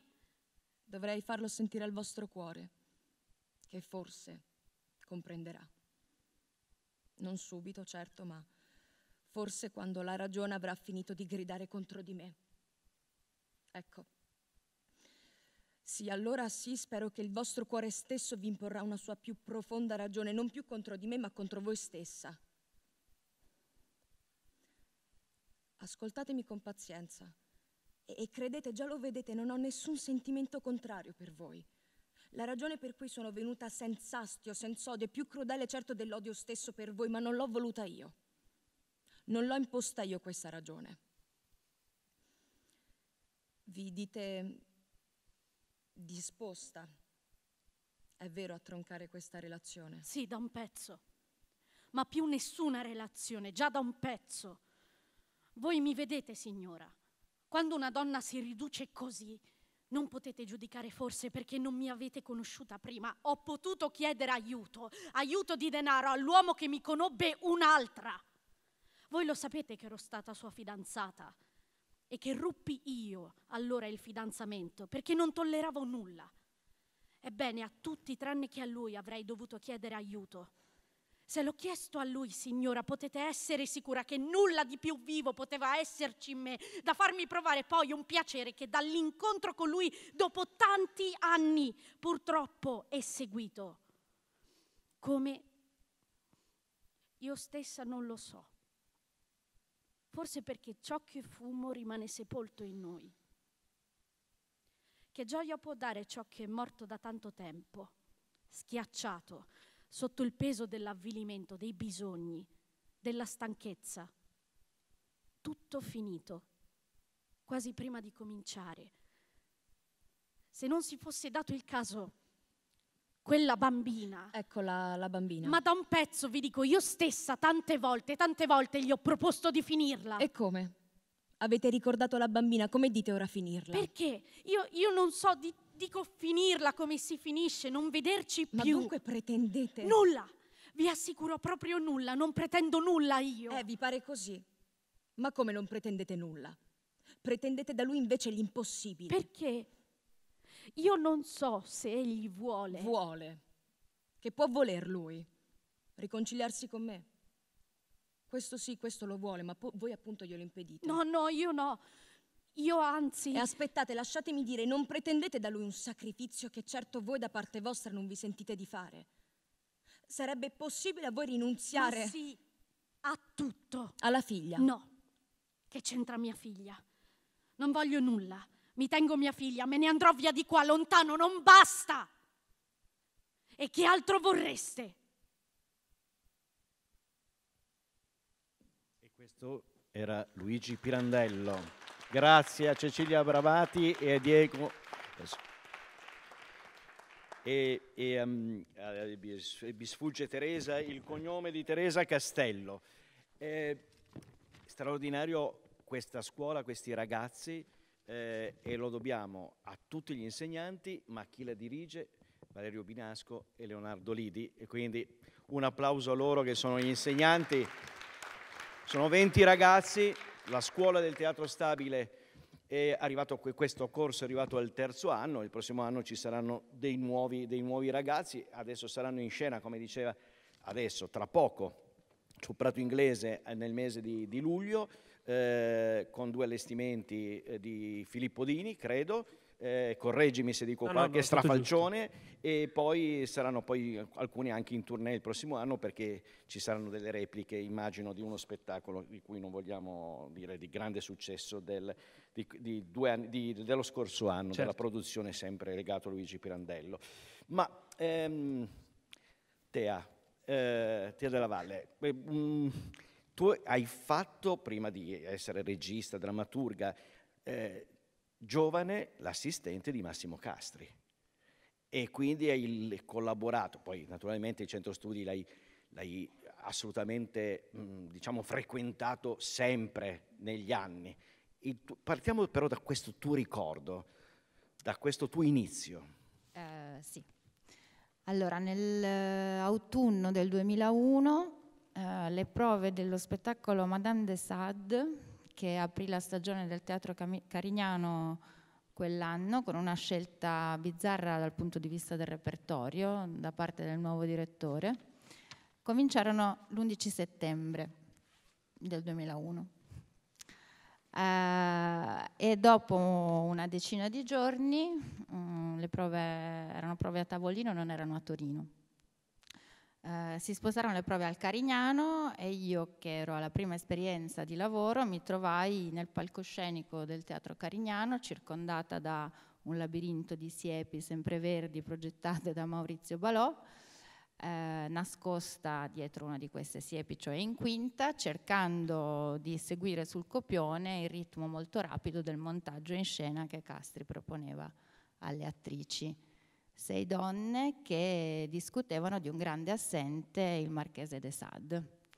Questo è stato un po' il battesimo, ehm, compreso il fatto che mi sono presa alcune sgridate perché alle prove mi incantavo, nel senso che guardavo il regista dirigere gli attori recitare cercare di seguirlo e letteralmente mi incantavo, seguiva eh, strillata del regista che cosa stai facendo, poi le prove riprendevano chiaramente. Questo è stato l'inizio di un percorso molto lungo perché ho seguito il lavoro di Massimo Castri per eh, circa dieci anni eh, e sono tornata a occuparmi di lui nel, 2000, nel 2021 quando appunto il centro studi ha ricevuto il fondo Massimo Castri dalla famiglia eh, e quindi mi sono occupata di farne una prima catalogazione, organizzazione e sistematizzazione, difficilissima perché Massimo Castri ha scritto tutta la vita, i taccuini che ha lasciato che documentano non solo il suo lavoro di regia ma anche tutte le sue letture, i suoi studi. Eh, era un uomo a tutto tondo, si direbbe di scena e di libro, nel senso che aveva un ideale da toscano umanista, un po' rinascimentale, di, una, di un'apertura a 360 gradi che cercava di unire la pratica e la teoria in un'unica direzione di senso. Eh, e questi taccuini sono preziosissimi perché documentano una fase, se tante fasi del lavoro teatrale sono nascoste perché quello che il pubblico vede è lo spettacolo che è la punta di un iceberg che è fatto del lavoro di tantissime persone, il famoso dietro le quinte, qui c'è un iceberg ancora un po' più profondo perché è il lavoro che il regista fa eh, da solo, si confronta con la pagina, si confronta col testo, quindi in realtà non è da solo, eh, parla con gli autori, eh, parla con se stesso. È una delle cose più belle di questi materiali che sono interessantissimi, è la quantità di domande che si trova. Eh, la sensazione è che c'è un movimento continuo del pensiero, il fatto che bisogna sempre dubitare, chiedersi e, e, e creare un movimento. Eh, l'occasione di questo fondo è stata anche quella di poter costruire, grazie a questa diciamo, eh, collaborazione tra eh, il Teatro Stabile di Torino e l'università, eh, un il primo sito web dedicato alla figura di questo grande artista intellettuale del teatro italiano, eh, che quindi adesso come dire, è un pochino più visibile anche alle nuove generazioni perché nel sito si è cercato di mettere insieme non soltanto parti testuali ma anche contributi multimediali, quindi audio, quindi video e molte immagini per cercare di far conoscere questo teatro che ha nel suo bello e nella sua magia anche il fatto di essere effimero. Il convegno che è stato fatto, che ricordava la professoressa Mazzocchi, è stato intitolato Per uso di memoria, riprendendo uno spettacolo eh, scritto da Castri eh, con Ione Liberovic nel 72, ehm, proprio perché mh, mm, questa memoria va usata, va rivissuta, riempita di vita, reinventata e in, in questo... Eh, il centro studio è un posto dove andare per continuare a far rivivere tutto quello che eh, sono queste tracce piene di vuoti da, da, riempire che il teatro ci lascia. Grazie, grazie. Sono gli anni, sono gli anni di formazione di una nuova generazione di drammaturghi, di registi. Eh sì, eh, sono questi anni. Eh, perché Marco Lorenzi in quegli anni prima sei allievo della scuola di teatro del Teatro Stabile, poi passi eh, alla regia, al lavoro, fondi poi Mulino d'Amleto e insomma di riparti, però sempre sei molto legato al centro studi. Sì, ehm, innanzitutto vi ringrazio per l'invito, per eh, l'opportunità di essere qui a dare insomma, il mio contributo a questo festeggiamento, a questa celebrazione. Eh, sì, il legame con il centro studi per me è fortissimo, è viscerale. Io eh, chiedendomi che tipo di contributo avrei potuto portare del mio punto di vista, eh, mi sono detto che mh, poteva essere interessante in un periodo, in questi ultimi anni il centro studi ha vissuto anche questa forte spinta eh, verso la digitalizzazione che ne fa un'eccellenza anche sotto questo punto di vista, però in realtà eh, eh, dicevo prima anche che eh, avevo desiderio invece di parlare, di uscire dal digitale, di parlare di, di, di, quella che è la mia esperienza del centro studi come luogo, come luogo fisico, come spazio accogliente, come eh, luogo, come un porto in cui eh, trovare riparo in alcuni momenti molto particolari poi della carriera, del lavoro di tutti noi. Ecco, mh, nello specifico, eh, per quanto riguarda me, io sono un regista che crede fortissimamente che il teatro si invera, si fa nel momento in cui si condivide con una comunità, prima quella degli attori e degli artisti con cui si lavora, poi quella della, del, de, degli spettatori. Purtuttavia, nonostante questo suo essere per me arte di una comunità, e visto il lavoro che faccio, inevitabilmente, no? come dicevi anche tu, Tea, il regista passa dei momenti di profondissima solitudine, che sono quelli che io chiamo del corpo a corpo con l'autore, il corpo a corpo con il testo. Ecco, questi momenti di, eh, di sconforto, di solitudine, che però nel centro studi, il centro studi mi ha fatto sempre alleviare in qualche modo, no? sempre trovato un posto in cui questa solitudine si stemperava e si stemperava in cosa? Non solamente nell'incontro con eh, dei veri e propri angeli custodi come, eh, come, Anna, come Davide, come Pietro. Non so se avete presente la scena di eh, Il cielo sopra Berlino, no? quel piano sequenza magnifico in cui Bruno Ganz... Eh, ecco, per me il centro... Io mi sento accolto e accompagnato così fondamentalmente, ma non solo da loro presenze fisiche e concrete, ma anche da quella essere, sentirsi parte improvvisamente di eh, milioni di domande fatte da altri artisti prima di te, da altri esseri umani prima di te, che sono ferme su quelle pagine, in quei modellini, in quei lacerti di memoria di altri spettacoli e che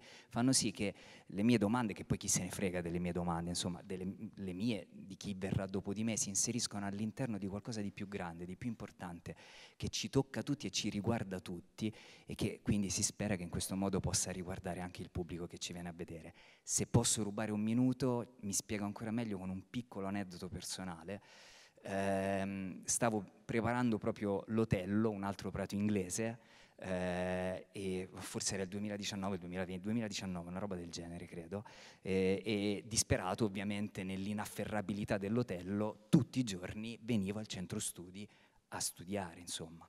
E un giorno Anna mi vede disperato e mi fa, ho una sorpresa per te erano appena arrivati i taccuini di Castri. Giuro che non me l'ero, cioè, mm, me, me l'ero preparato quindi. e, e, mi porta questo taccuino pigna, no? eh, in cui c'era Castri che aveva raccolto tutti sue, i suoi appunti no? su eh, questa eh, versione che poi credo che non abbia mai fatto dell'Otello di Verdi. Quindi, peraltro, non ho potuto rubare niente in quel caso. Ehm, ma la cosa bellissima fu che nel leggere, nel buttarmi dentro mh, mm, eh, il manoscritto di Castri, la cosa che più mi diede sollievo era, sollievo era che eh, Castri, e stiamo a parlare dei Castri, no, di Marco Lorenzi, si faceva le stesse domande che mi stavo facendo io, dis- aveva le stesse paure che avevo io, le stesse fragilità che avevo io. E se ce le aveva lui, mi potevo sentir preso per mano no? e condotto con un po' meno paura verso quello spettacolo lì. Spero che insomma, il centro studi continui a rimanere questo nel tempo, non un luogo dove si trovano delle risposte, ma in cui si trovano le domande giuste che per il teatro serve. Grazie Marco, grazie.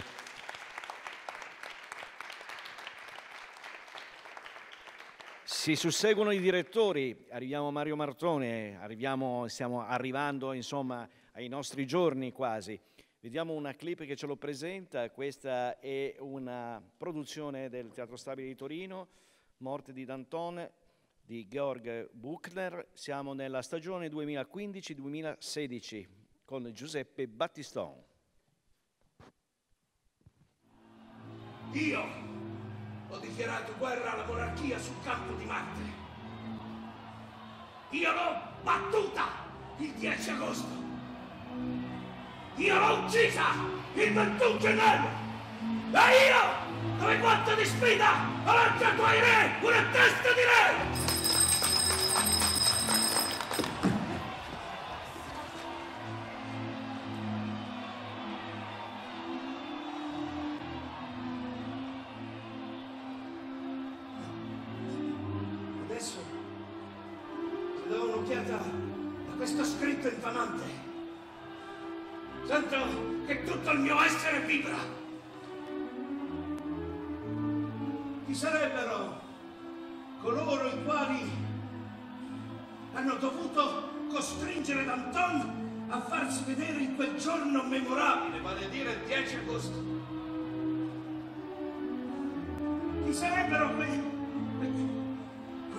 Esseri privilegiati che gli prestarono l'energia.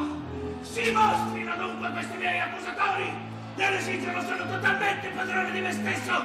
Io smaschererò quegli insulti furfatti e li ricaccerò nel nulla dal quale non avrebbero mai dovuto strisciare fuori! Madonna, serve il campanello! La voce di chi difende il proprio onore e la propria vita l'obbligo di soverchiare il tuo salario! In settembre sono stato io a inventare la giovane iniziata della rivoluzione con i corpi smembrati degli aristocratici.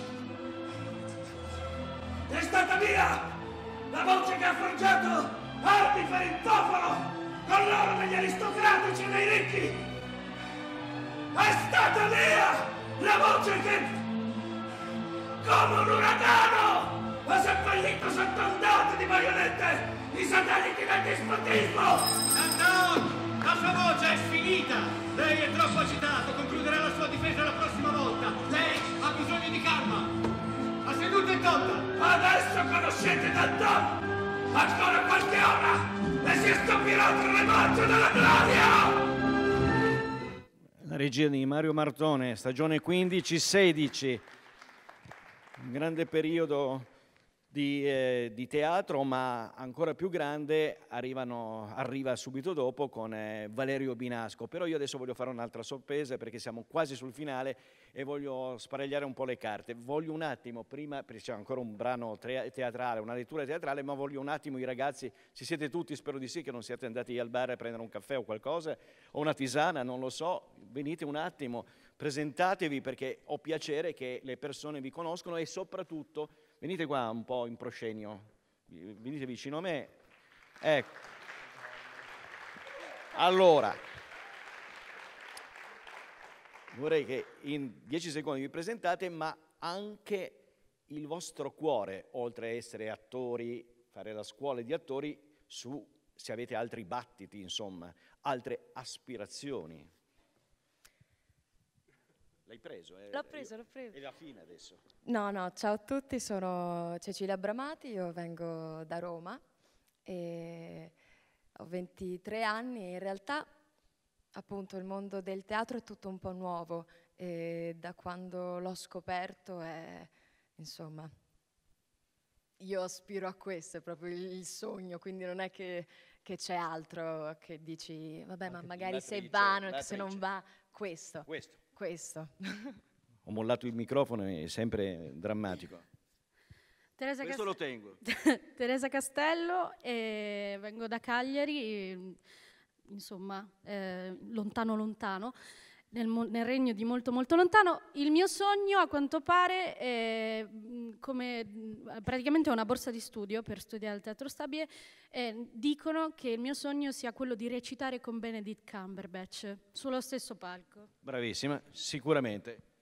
Allora, sono, son- sono Nicola Tomassini eh, e colgo questa occasione per ringraziare anche io il Centro Studi perché, mm, perché io mm, mm, mando sempre delle tantissime mail a- a- ad Anna Peiron e lei mi manda tutti i testi che chiedo e, e il, il, centro studi è un posto bellissimo eh, dove noi riusciamo davvero a, a trovare tutto quello che cerchiamo. Quindi grazie. La tua ispirazione? Io sono un attore e vorrei anche fare il regista. Grazie. Diego. Eh, sono Diego Pleuteri, ho 25 anni. Eh, scusate, così sembra un po' alcolisti anonimi. Eh, e, ma allora, io scrivo anche, la mia aspirazione, ma eh, ne ho due, una, eh, vabbè, a parte a fare l'attore, teatro e queste cose qua, l'altra è scrivere un romanzo o aprire un negozio di fiori. Bellissimo, grazie, grazie ragazzi. Bene, abbiamo, abbiamo l'ultimo, siamo arrivati appunto alla direzione di Valerio e, um, ricordiamo un allestimento, questo del 2019, eh, classico, Shakespeare, l'Amleto, chiamo Cecilia Bramati e Diego Pleuteri qui perché saranno gli interpreti di questo dialogo tra Ofelia e Amleto.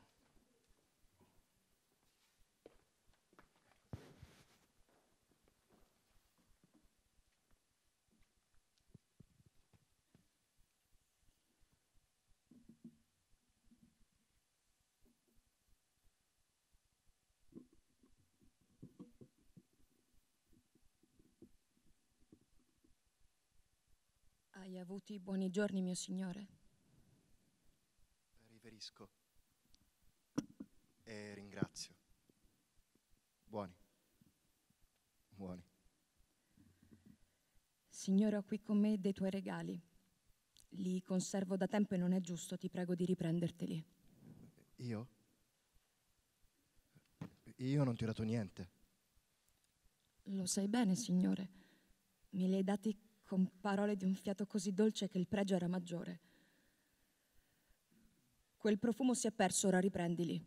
Non amo i regali il cui scopo era volgare. Eccoli, sono tuoi. Sei onesta? Signore? Sei bella. Che cosa stai dicendo, signore? Che se sei onesta e bella la tua onestà dovrebbe rifiutare di sentir parlare della tua bellezza. La bellezza, Signore, potrebbe avere relazione migliore che con l'onestà. Certo, perché il potere della bellezza farà molto prima trasformare l'onestà in una puttana che non la forza dell'onestà a fare simile a sé la bellezza. Questo una volta era un paradosso, ma ora è moneta corrente. Io ti ho amata un tempo se non altro me l'hai fatto credere. E tu avresti fatto meglio a non credermi. Perché la virtù non può innestarsi sui nostri desideri fino al punto da farcene dimenticare il sapore. Non ti ho amata. Così sono stata ingannata ancora di più. Chiuditi in un convento. Perché aprire un allevamento di peccatori? Io sono abbastanza onesto, ma potrei accusarmi di tale cose che sarebbe stato meglio, molto meglio, se mia madre non mi avesse mai partorito. Io sono orgoglioso, sono vendicativo, ambizioso, con più peccati ai miei ordini che pensieri dove versarli, fantasia per immaginarli e tempo per commetterli. Che cosa ci stanno a fare delle persone come me striscianti fra cielo e terra? Siamo tutti canagli, non fidarti di nessuno. Vattene in convento. Dov'è tuo padre? A a casa, Signore.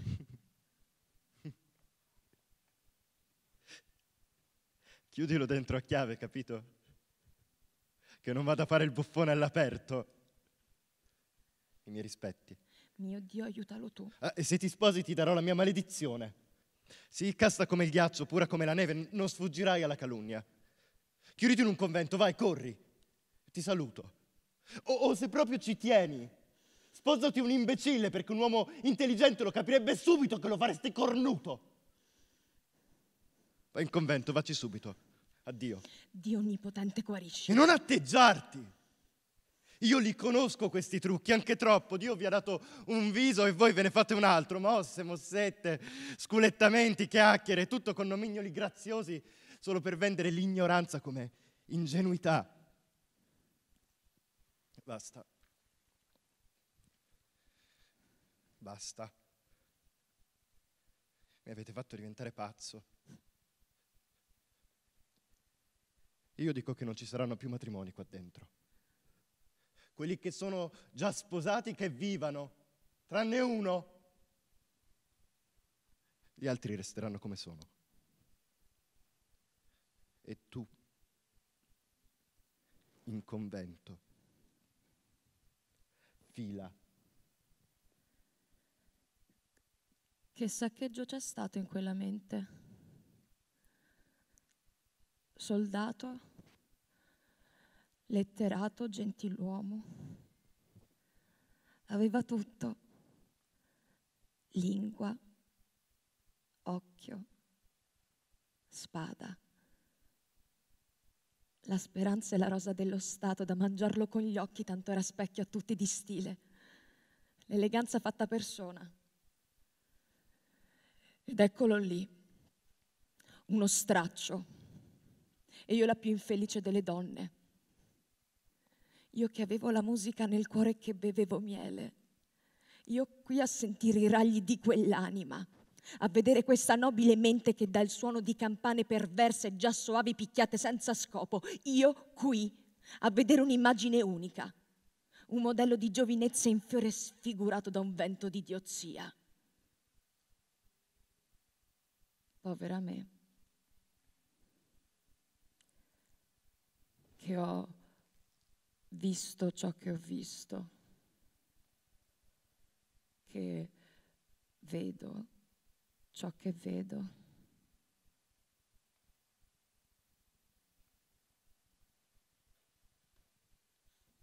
L'Amleto. Cecilia Bramati, Diego Pleuteri. E stiamo arrivando al finale. Leonardo, Leonardo, anche tu arrivi dalla scuola del teatro, adesso prepari questi e dirigi questi bravissimi ragazzi e raccontaci del tuo rapporto, ma soprattutto il rapporto con eh, ovviamente il centro studi. Sì, no, pensavo volevi parlare dell'amuleto che ho fatto io, è stato un disastro qua su, questo palcoscenico, infatti ogni volta che sento recitare amuleto qua penso io avevo fatto delle cose orrende, non per colpa del regista, proprio per colpa mia. E infatti prima o poi dove Filippo lo devo rifare perché ogni volta che lo sento mi, mi sento addosso quella sensazione di imbarazzo. E, um, le cose sono connesse, nel senso che sono i due luoghi per me più importanti, sono stati più importanti per il mio percorso e, e a un certo punto anche proprio della, della, della mia vita da, da attore, da regista, nel senso che la scuola e il centro studi insieme mi hanno un po' emancipato da me stesso, poco, non tanto, ancora sono rimasto un po' ingabbiato, ma um, c'è sicuramente una grande possibilità che è quella che cerco di ricordare agli allievi ogni giorno che c'è la possibilità, e cioè quella di potersi rapportare con una grande materia. Io credo che rapportarsi con la materia sia poi a un certo punto de, del percorso lo, lo, snodo, nel senso che inizialmente uno inizia a recitare per un, un, un atto forse egoico perché gli piaceva sedersi, eh, alzarsi sulla sedia per dire la poesia alle feste, gli piace stare al centro e poi però a un certo punto devi decidere se diventare un uomo o una donna di teatro. E per fare questo secondo me ti devi rapportare con la materia.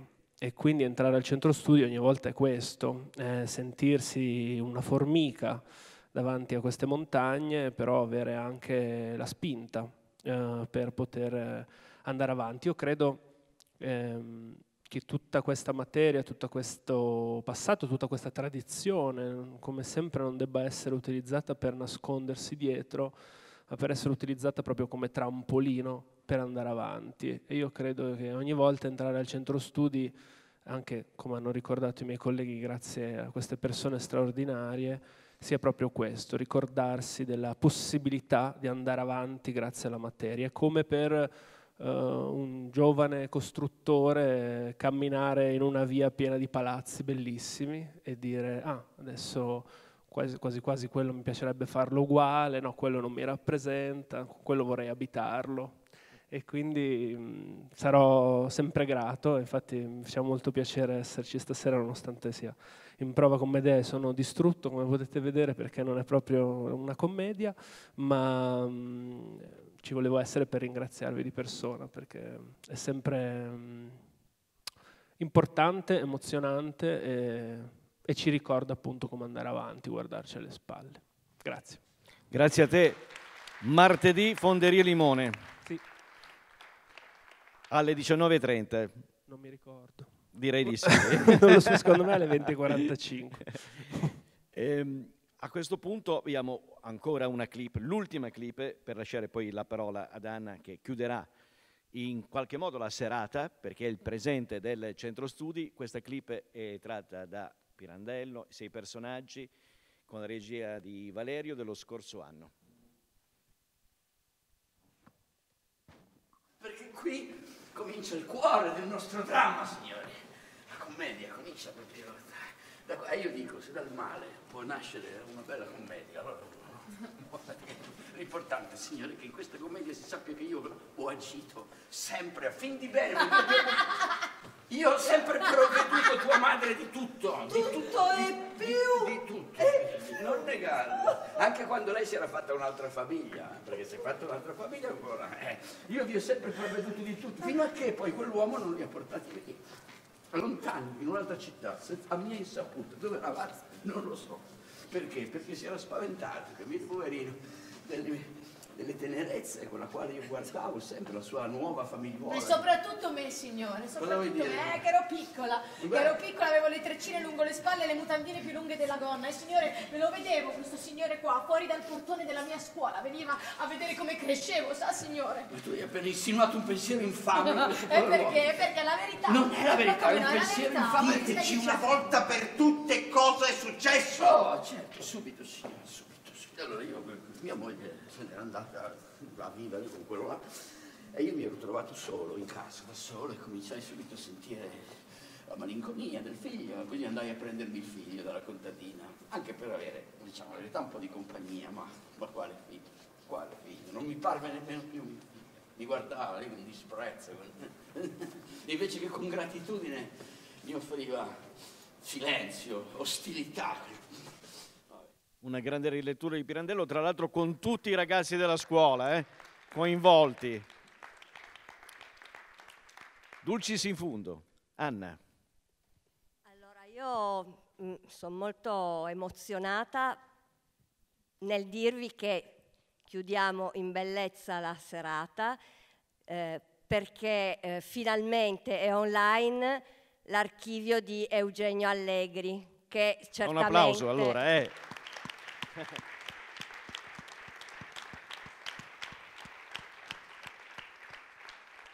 Non abbiamo bisogno di presentarlo perché eh, a Torino Eugenio è eh, un attore eh, conosciutissimo, eh, regista, pedagogo, intellettuale e un am- caro amico. Eh, volevo ringraziare Susanna Teodoro, Silvana Allegri che eh, sono in sala eh, e anche Simona Musano, sua storica collaboratrice e eh, tutti eh, coloro che hanno eh, contribuito attraverso la raccolta di fondi che ha reso possibile la costituzione eh, dell'archivio, la sua inventariazione e eh, catalogazione. Adesso l'archivio eh, cartaceo è consultabile tutto presso il centro studi e abbiamo iniziato anche eh, con l'aiuto eh, di Promemoria, c'è qui eh, Gisella Riva dell'Agency Heritage Promemoria che gestisce la piattaforma dell'archivio del centro studi e la pagina dedicata a Eugenio Allegri eh, ed è un archivio in fieri. Al momento potrete eh, trovare eh, le locandine, tutte quante eh, quelle eh, che abbiamo, locandine manifesti, alcune foto, eh, uno solo spettacolo per il momento. Ci sta lavorando alla Cremente Federica Mangano, che è una giovane eh, studentessa DAMS che sta collaborando con noi eh, con grande passione e che ringrazio. E eh, la particolarità di questo archivio è che eh, sarà un archivio partecipato perché è possibile attraverso una funzione che è la buca delle lettere poter eh, donare all'archivio i materiali che eh, i singoli, insomma le persone possono eh, conservare. Se eh, si conservano ad esempio in cartaceo eh, ci possono scrivere. Direi che eh, la funzione, la docu i documenti conservati al centro studi sono stati ampiamente descritti. Io eh, sono fortunata di lavorare in un posto meraviglioso per cui io tutte le mattine mi sveglio e sono felice di arrivare qua eh, con dei colleghi eh, meravigliosi, ringrazio anche eh, Davide Giovanni Netti e Pietro Crivellaro che per me è stato eh, un maestro. E voglio anche ricordare Loredana Gallarato che non c'è più ma che eh, in questo momento insomma voglio ricordarmela, grazie. Grazie a te, grazie, grazie, grazie. Non, è, non abbiamo previsto, non c'è un can can, non c'è una musica finale, però voglio ringraziare il direttore, il presidente del Teatro Stabile, tutto il personale, le maestranze, i tecnici, tutti e direi a questo punto prima gli allievi attori, ormai attori, venire qui in scena con me e prendervi un applauso. Via in proscenio.